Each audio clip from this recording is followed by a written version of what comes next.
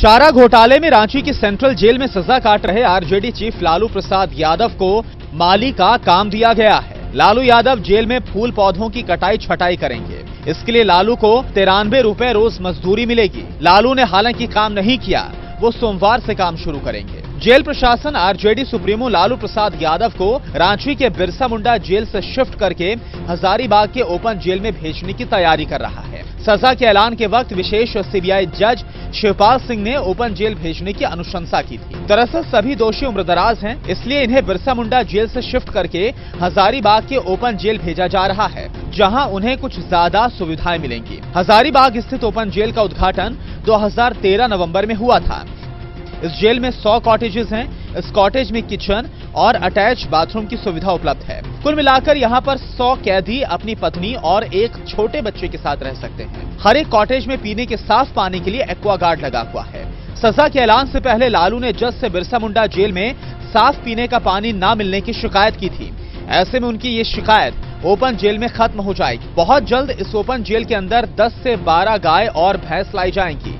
माना जा रहा है कि ऐसा इसलिए हो रहा है क्योंकि विशेष सीबीआई जज ने सजा के ऐलान के वक्त ये टिप्पणी की थी कि ओपन जेल में गाय और भैंस चरते हैं। चारा घोटाला मामले में रांची में सीबीआई की विशेष अदालत में लालू यादव को वीडियो कॉन्फ्रेंसिंग के ज़रिए सजा सुनाई गई। उन्हें 420, 120 बी और अन्य धाराओं के तहत सजा सुनाई गई है।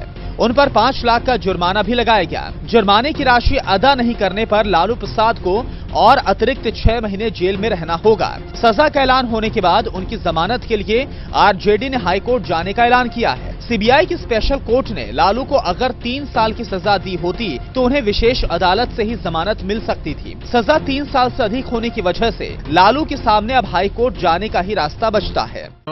कानून विदों से राय करके तुरंत ऊँची अदालत में हम लोग अपील में जाएँगे। कानूनी लड़ाई, कानून के क्षेत्र में, कोर्ट में लड़ाई जारी रहेगी और यहाँ जनता के बीच भी लड़ाई जारी रहेगी।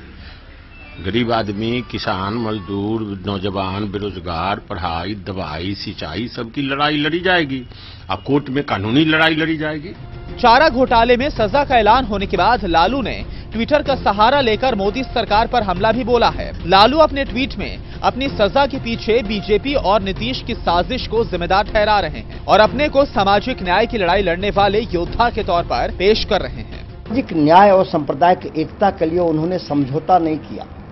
उन्होंने पलटने का काम नहीं किया, बल्कि हर मुसीबत, हर तकलीफ़ पैर में जितने भी शीशे गड़ेंगे, कांटे गड़ेंगे, जितने भी जो है मुसीबत आएगा, लेकिन लालू जी, सामाजिक न्याय और सांप्रदायिक एकता, और गरीबों के आन, बान, शान और सम्मान है, इसीलिए उन्होंने बिहार वासियों का नाम संदेश जो है भेजने का काम किया। ये है मेरे प्रिय बिहार वासियों आपके नाम लालू का पद। लालू के जेल जाने के बाद उनके बेटे तेजस्वी के सामने आरजेडी को एकजुट रखने और अपना जनाधार बचाने की बड़ी चुनौती है। ऐसे में लालू अपने ट्वीट के ज़रिए अपने समर्थकों को संदेश देकर जोश बढ़ा रहे हैं। पर उनकी ये कोशिश कितनी रंग लाएगी, ये तेजस्वी की योजना और व्यक्तित्व पर निर्भर करेगा। National desk, total news.